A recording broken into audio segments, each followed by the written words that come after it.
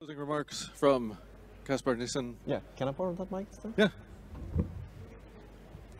All right. Um, so thank you all for attending. Uh, I, I, got the pleasure to just say thank you to all of you and uh, just closing this off today. I'm, my name is Kasper. I was uh, on the program committee. I'm also a Linkerd ambassador, CNCF ambassador as well. So I, I really hope you had a great uh, Linkerd day, the first ever Linkerd day. Um, just a few things, uh, maybe just before we, we, dive into the details, maybe just uh, give yourself a big round of applause for being here. So be, yeah, awesome. And while you're at it, give a big round of applause to the speakers as well. Just and keep it going.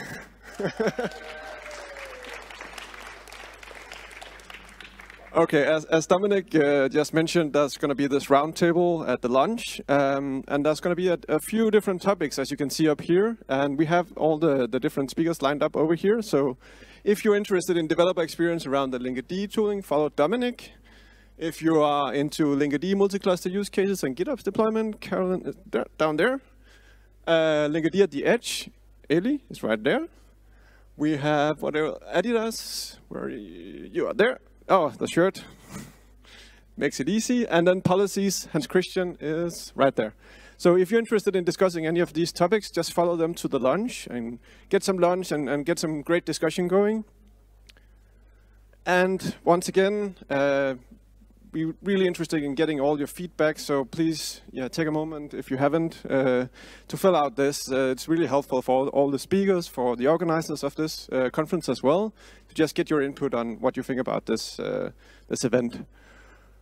And um, yeah, Buoyant is doing this Service Mesh Academy, so if you are, want to learn more and, and probably also hear a little bit more about the 213 release, uh, Circuit Breakers, May 18, uh, yeah, join that um, if you want to learn more.